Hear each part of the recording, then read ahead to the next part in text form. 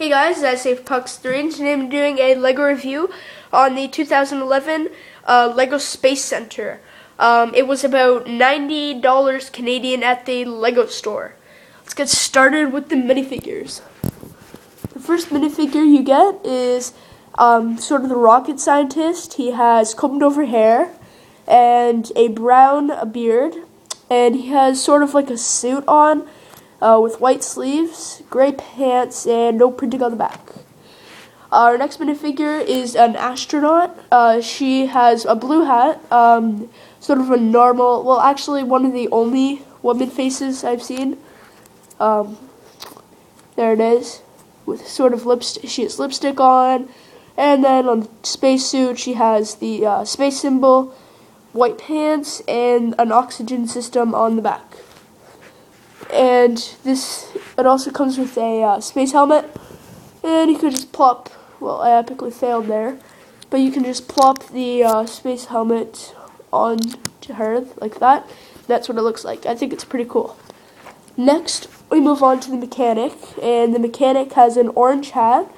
And uh, he also has sunglasses with a normal smiley face a blue and uh, orange suit with blue pants and no printing on the back our next minifigure is the male astronaut. He basically has the exact same things as the woman, a blue hat, normal smile, um, spacesuit with a space symbol, white pants, and the oxygen system on the back.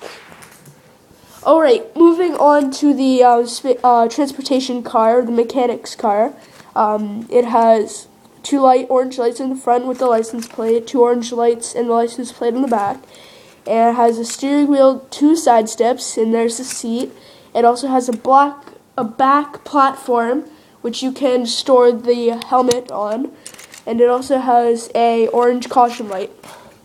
Next, we move on to the satellite, which is breaking up uh, on me. There we go. Uh, it basically has it consists of very small pieces, um, and then it has two clear pieces with sort of uh, a grid design for the um, solar panels.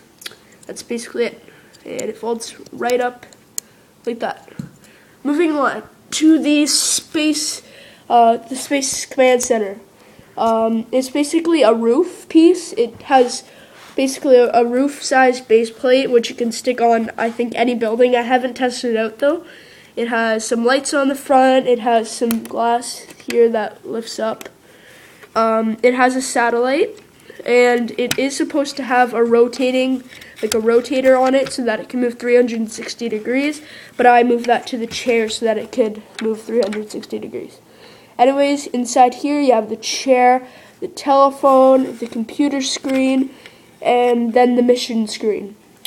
Moving on, here we basically have the, well, it is the rocket. Move on here. Um, it comes with this platform, and basically it just has some wheels and holes in the side so that it can lock into the platform. And on the bottom here it has that and you just stick that in one of the holes and it stays up. And on the rocket you have a sticker here. That is not um, supposed to be there. I had an extra sticker I guess for some random reason so I put that there. Um, it has the gas chamber and then it has the space symbol on each side. And then as you go up, it has the uh, rocket number, um, 3368. That is the set number, I'm pretty sure. And then it has the actual space symbol. And you take the black cap off and try not to destroy the set. And if you move it sideways, you have where the astronaut sits. That, that actually is pretty cool when you put the astronaut in there. Um, and then also the satellite can go inside there. This is what it looks like with the astronaut sitting inside of it.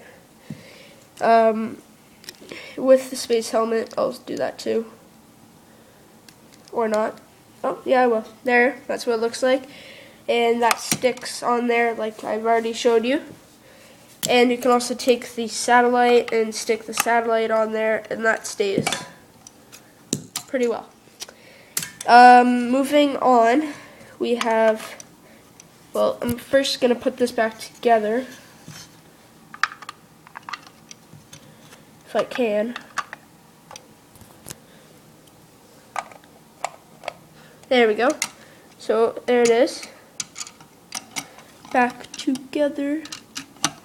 Um, and you can basically slide that in. One of the wheels came off for some random reason. Anyways, here you have the actual launch uh, platform. It has two spotlights, a keep clear on the road, some caution, um, some, caution stripes, uh, and then it has a tool rack with two fire extinguishers, a uh, wrench, a hammer, a drill, and a oil thing.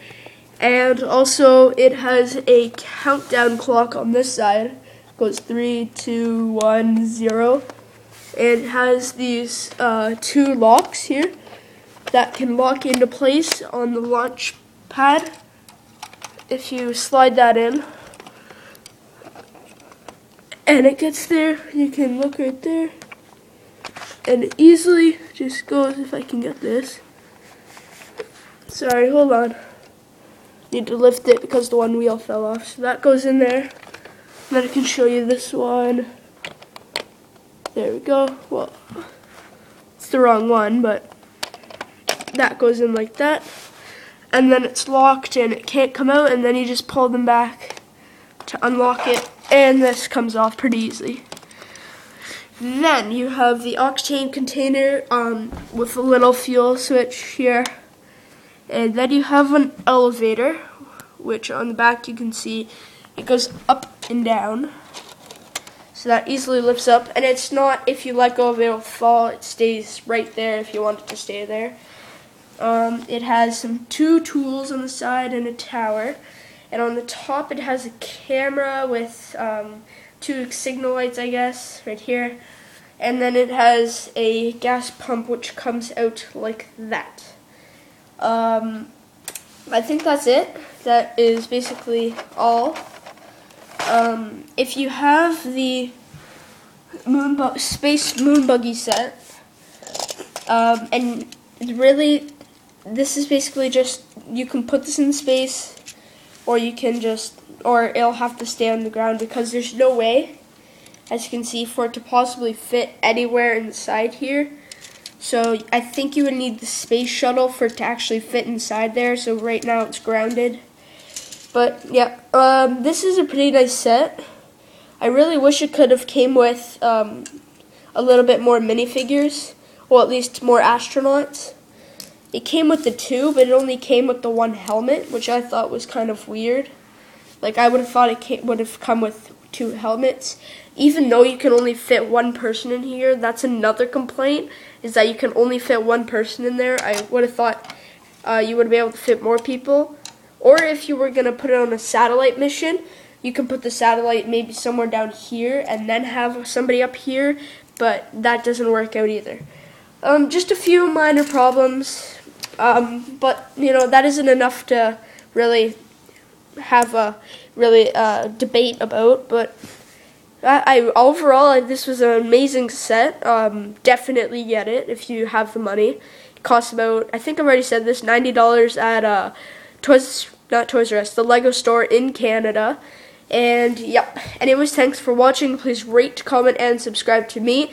And also subscribe to Lego Commander 99 and our dual channel, which is DB Productions 99. Anyways, thanks for watching. Please rate, comment, and subscribe, or just do all three. See ya.